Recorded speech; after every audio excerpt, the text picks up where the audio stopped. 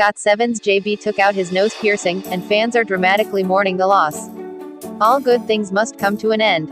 Between his long hair and facial piercings, GOT7's JB has recently been wowing fans with his edgy appearance. However, during an online broadcast, he revealed that he removed his nose piercing recently, and fans are upset to say the least.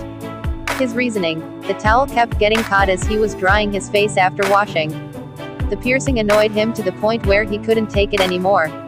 He believes his tastes are changing quickly, originally planning to keep the nose ring for a while and eventually get a tattoo, neither of which he plans on doing now.